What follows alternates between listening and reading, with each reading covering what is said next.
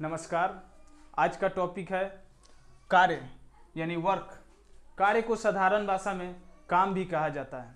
हम सभी प्रत्येक दिन बहुत सारे कार्य करते हैं, लेकिन आज मैं आप लोगों को कार्य को साधारण भाषा में समझाऊँगा, इसलिए आप पूरा वीडियो ध्यान से देखिएगा। और कार्य को समझने से पहले मैं आप लोगों को बताने जा रहा हूँ, विस्थापन क्या है, यानी कि व्हाट इज़ डिस्प्लेसमेंट विस्थापन।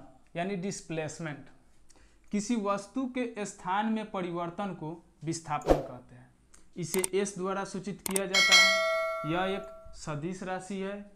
इसका एसआई मात्रक मीटर होता है। यानी कि उदाहरण के तौर पे समझे तो मान लीजिए यहाँ पे एक फुटबॉल है। ये हो गया आपका फुटबॉल।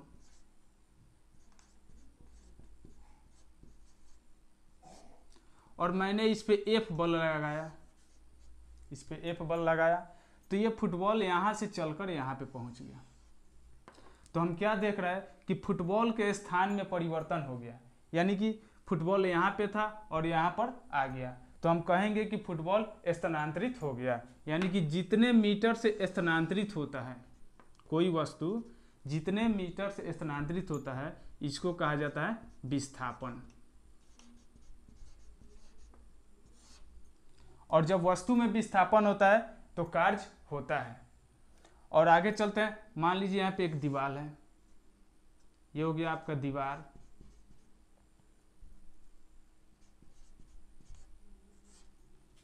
और इस पर मैंने एफ़ बल लगाया। तो दीवार पर जब मैंने बल लगाया तो दीवार विस्थापित नहीं होगा। तो जब दीवार विस्थापित नहीं होगा, यानी दीवार के स्थान में कोई परिवर्तन नहीं हुआ तो यहाँ पे विस्थापन का मान क्या होगा? शून्य होगा। और कार्य का भी मान क्या होगा? शून्य होगा। और आगे अब हम चलते हैं। कार्य क्या है और कार्य के बारे में समझते हैं। कार्य, यानी वर्क। किसी वस्तु पर लगाया गया बल और उस वस्तु में विस्थापन के गुणनफल को कार्य कहते हैं। इसे W द्वारा सूचित किया जाता है। यह एक अदिश राशि है। इसका एसआई मात्रक जूल या न्यूटन मीटर तथा सीजीएस मात्रक अर्घ होता है। यानी कि फॉर्मूला होता है कि कार्य बराबर बल गुने विस्थापन।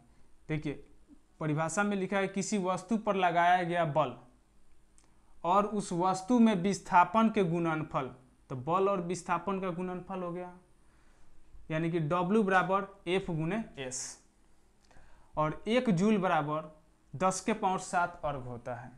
अब आगे हम समझते हैं कार्य की माप।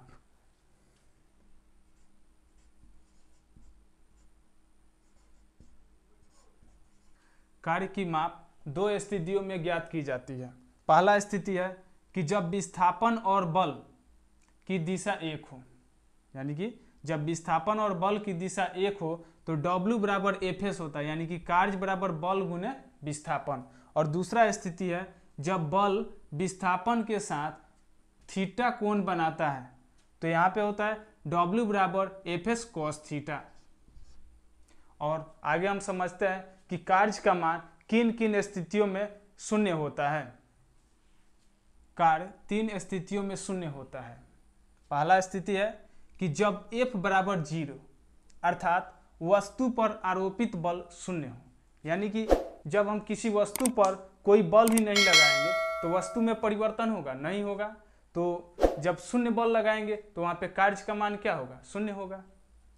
और दूसरा स्थिति है, जब S बराबर ज़ीरो, अर्थात बल द्वारा उत्पन्न विस्थापन शून्य हो, यानी कि हम बल लगाने से यदि किसी वस्तु के स्थान में परिवर्तन नहीं होता है, यानी विस्थापन नहीं होता है तो वहाँ पे भी कार्य का मान क्या होगा? शून्य होगा।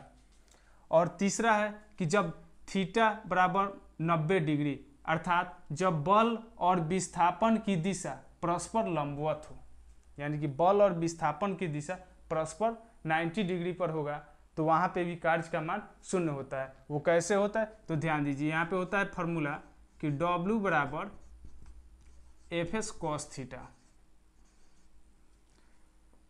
तो जब हम मान रखेंगे एफ़ गुने एस और कॉस 90 डिग्री तो जब इसका वैल्यू रखेंगे तो एफ़ गुने एस और कॉस 90 डिग्री का मान होता है शून्य। तो यहाँ पे ज़ीरो रख देंगे तो ये टोटल डब्ल्यू बराबर कितना हो गया? ज़ीरो से मल्टीप्लाई करेंगे तो सब ज़ीरो हो जाएगा। तो यानी कि डब्ल्यू बराबर ज़ीरो, यानी कार्य का मान शून्य होता है। कब? जब विस्था बल और विस्थापन की दिशा परस्पर लंबवत होता है, तब। अब हम आगे चलते हैं, इस पर कुछ सवाल बनाते हैं और समझाते हैं। सवाल नंबर एक है यदि एक घोड़ा 20 न्यूटन के बल से गाड़ी को 5 मीटर तक खींचता है तो घोड़े द्वारा किया गया कार्य निकालें। यानी कि हम सवाल में देख रहे हैं कि एफ़ का मान दे रहे हैं 20 न्यूटन। और एस का मान दे रहा है, यानी विस्थापन का मान दे रहा है पाँच मीटर। और किया गया कार्य निकालना है। मैंने बताया कि कार्य का मान दो स्थितियों में निकलता है। एक डब्ल्यू बराबर एफ़ एस और एक होता है फॉर्मूला डब्ल्यू बराबर एफ़ एस कॉस थीटा जब बल और विस्थापन के बीच कोण का मान दिया रहेगा तो। तो यहाँ पे लिखेंगे हम डब्ल्यू बराबर एफ़ गुने एस यानी कि एफ़ का लिखेंगे 20 न्यूटन बल दे रहा है और एस का मान दे रहा है पाँच मीटर। तो 20 पचे सौ सौ न्यूटन मीटर। या इसको हम लिख सकते हैं सौ जूल। कार्य का मान कार्य का ऐसा ही मात्रक न्यूटन मीटर या जूल भी होता है। तो यही हो गया हमारा आंसर। अब आगे चलते हैं, दूसरा सवाल है कि जब एक गाड़ी पर 20 न्यूटन का बल आरोपित किया जाता है तो 500 जूल कार्य संपन्न होता है। गाड़ी द्वारा तय की गई दूरी निकाले, अर्थात विस्थापन निकालना है। तो सवाल में हम देखेंगे एफ़ बराबर दे रहा है 20 न्यूटन। और किया गया कार्य यानी कि डब्ल्यू का मान है 500 जूल। तो हम फार्मूला वही लगाएँगे डब्ल्यू बराबर एफ़ गुने एस और विस्थापन का मान पूछ रहे यानी तय की गई दूरी तो एस बराबर डब्ल्यू बटा एफ़ और डब्ल्यू का मान कितना है? 500 और एफ़ का वैल्यू है 20 न्यूटन। तो यहाँ पे कटा देंगे हम। एक ज़ीरो से एक ज़ीरो कट जाएगा और दो से ये पच्चीस बार में कट जाएगा। यानी कि हो गया पच्चीस मीटर। यानी कि तय की गई दूरी हो गया पच्चीस मीटर और यही हमारा आंसर हो गया। सवाल नंबर तीन है, तीस न्यूटन का बल एक वस्तु पर लगकर उसमें दस मीटर का विस्थापन उत्पन्न करता है। यदि विस्थापन और बल की दिशा के बीच का कोण 60 डिग्री हो तो किए गए कार्य की गणना करें। यानी कि हम सवाल में यहाँ पे देख रहे हैं कि एफ़ का मान एफ़ बराबर दे रहा है 30 न्यूटन। और इसमें विस्थापन दे रहा है एस का मान दे रहा है 10 मीटर।